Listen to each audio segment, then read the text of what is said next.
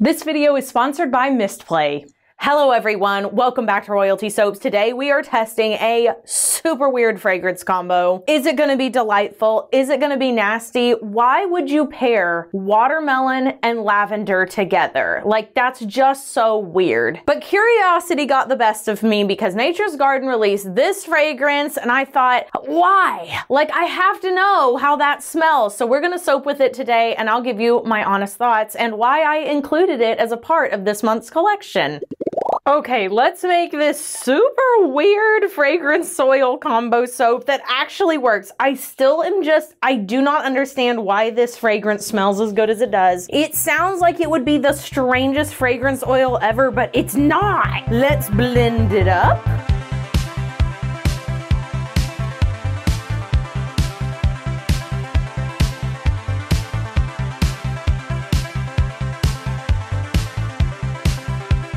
It's all rainy and delightful outside today. It's like a cool spring rain though. My roses are absolutely loving it. Let's start with our purple colorants. First, we're gonna add a little bit of I Dream in Purple. This is a lovely sort of warm lavender color. And then we're gonna mix a little bit of Pow Pow Purple with I Dream in Purple into this one. So this is gonna make a darker version of our first color. And then then because I've never used this fragrance before, I'm gonna go ahead and mix in our color before we add our fragrance oil. Wow, those are literally exactly what I wanted. I love it when everything goes my way. And here you go. This is the fragrance oil we're adding. I'll leave a link to it down below. I do expect a paranormal color morph on this soap. It won't catch me by surprise. And then we're gonna watch for separation, acceleration, etc., etc. Well, it, do it doesn't look like it's morphing too bad. There's a little bit of a yellow tint to it, but again, I fully expect that to disappear by tomorrow. No immediate distress signals. Blending in so pretty. I would recommend hand mixing this. It doesn't feel like it's like super accelerating or anything, but it is thickening the soap, not thinning it out. Everything is blended now. No extra fragrance sitting on the top, so we can now pour this into our mold. And we're gonna pour just like we would our traditional watermelon soap recipe, except we're doing purple on the bottom instead of green. So like I said, you can see it is thickening, but if you mix by hand, you really shouldn't have any problems. And there's still plenty of time for you to do a layered swirl. You probably can't do anything intricate or complicated, but for my purposes, it's gonna be just fine. You can also work a little bit cooler. I was working a little warmer today, and I'm gonna shoot for as many many passes as I can get. That is what's gonna make the design on the bottom look really, really good. I am leaving a little bit in the bucket so that we can potentially add it to the top. We'll see once I pour in the next color if that's gonna be something I wanna do. And honestly, I thought I was gonna texture this layer, but now I don't want to.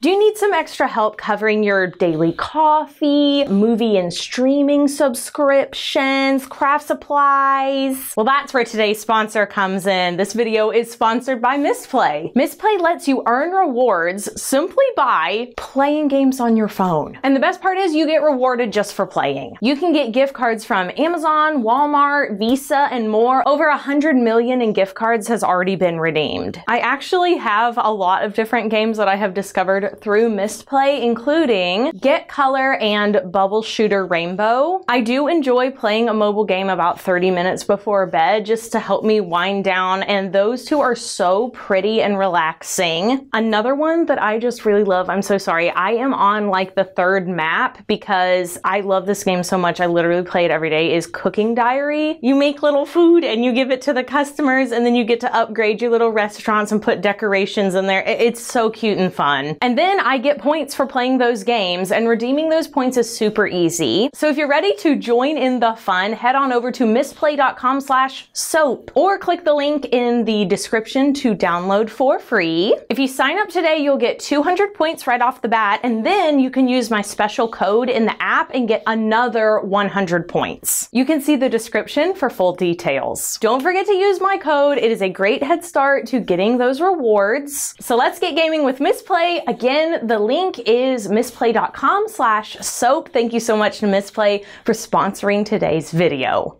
For the second layer, we're going to do a custom blend of color. It is very, very pigmented. I'm actually gonna scoop up a little bit of the soap and kind of mix it up just to get all that extra color out. We're gonna add some poppy seeds since this is a watermelon soap and blend it all up.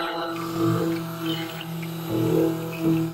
This is so pretty. Pour in our fragrance oil and our kaolin clay. Then I'm gonna mix this in by hand. It could be that I need to use my stick blender because this is a really big bucket, but I'm gonna do my best. Also making sure I'm scraping the edges. Oh, this is literally so gorgeous. Okay, I mixed by hand until I can feel the soap starting to tug a little bit. This just means that it's starting to thicken and it's ready to pour. And I believe my first layer is already completely hard, which is awesome. This is going to be a beautiful pour. Start in the corner and just let it snake all the way across. I've got to find a different word. Uh, just smooth its way all the way across. all right, fill us all in here. Wow. Scrapey, scrapey out my big containy, which I'm so happy to say I did mix in all the color. There are no uncolored spots in this batch. Gorgeous. I think my purples are still thin enough to place on top. Maybe. I don't know. They're kind of thick. All right, let's start texturing the top of this soap. Gonna pull to the middle one side, pull to the middle on the other, and then I'll texture down the middle. Maybe, maybe it'll look better if I don't do that. We'll see. This has been the most fun. This has been so relaxing for me. And I think with poppy seeds on top, it's gonna look even better. Okay, I'm trying to move these purples to the middle because I definitely put them off center. Okay, I think that looks good. And then for the middle, I think I'm just gonna swirl a little like this so it still has a lot of texture, but it's not as spiny. It'll also let me move some of those purples around just a little bit. Yeah, just a little swirl. That looks so good. Gorgeous. Ah, it's so pretty. I cannot wait to see what this looks like when the purples turn colors tomorrow. Okay, let's put some poppy seeds along the red portion and then maybe lavender buds would look good down the side or down the middle. I'm gonna spritz the top real quick. It may still ash, but you know, nice to prevent where you can.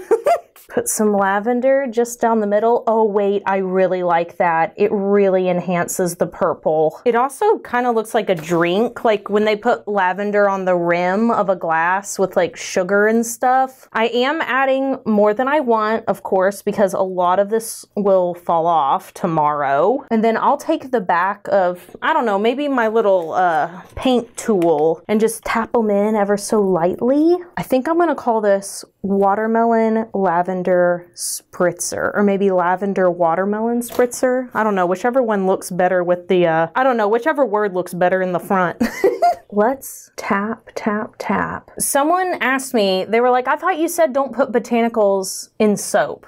The answer is that is what I said, and I mean it. Don't put it in the soap. If you want to put them on top of cold process, that's not going to cause you any problems. It's putting it in cold process and putting it in melt and pour that makes botanicals just look yucky over time. So there's some further clarification about botanicals on soap. Beautiful. Okay, I'm going to put a lid on this. Maybe that'll help with the ashing, but can you, I mean, please look at that. Yum! I cannot wait to cut this tomorrow.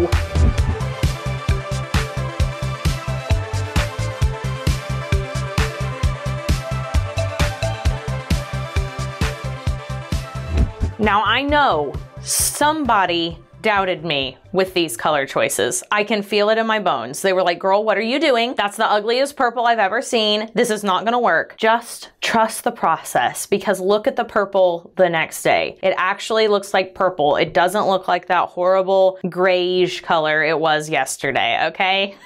I'm lining it up with my cutter. Gonna press down gently take one of these bars out. And this is what our watermelon lavender looks like the next day. Tell me that isn't so gorgeous. I love the addition on top. I love the way it's been textured, like all these lovely little botanicals. Just, ugh. This may possibly be my favorite one of the entire month. I mean, look at it. It looks like you could eat it. Smells incredible the next day. So smelled good out of the bottle, but the next day, after I've cut it and it's saponified, the fragrance like blends into this beautiful smell and you can definitely smell both watermelon and lavender and it works. Oh, it works hard. If you've bought soap from me before and you're gonna buy soap this month and you're on the fence about this one, let me just give you a personal recommendation because it, it, it really is good. It's weird. It's super weird, but it works. What are some other weird fragrance combos you think I should try? Nature's Garden mixed this one up, so I didn't have to mix it up, but I could mix some for a video. Maybe I could do like four in a video, like weird fragrance combos and do they work out? Leave your combos down below and maybe I'll pick yours for video soon. I hope you all have an absolutely royal day today. I hope you enjoyed today's video. It actually, I mean, it's just such a good, good soap. It's not my favorite of the month because that one is coming a bit later, but it is a close runner up. Be sure you do something fun for yourself today. I am actually going to be off of the internet almost all of today. I will post the Instagram announcement for this video, but it is my son Will's fifth birthday. Can y'all believe it? I know I'm going to say that, and there's going to be people who are like, oh my gosh, I was watching you before he and Lily were even born. Yeah, uh-huh. So Will's turning five and Lily is six, turning seven. so I'm gonna be spending almost all of my time with him today. He wanted a firefighter themed birthday party. So that's what we're doing. And maybe I'll share a few little pics over on my personal Instagram. You can go follow me over there. Um, and y'all have an amazing day. I can't wait to see you. I'm traveling this week. I will have so many updates to share on so many good things soon. Yeah, y'all just have an amazing day. I will see y'all all so soon. Bye for now.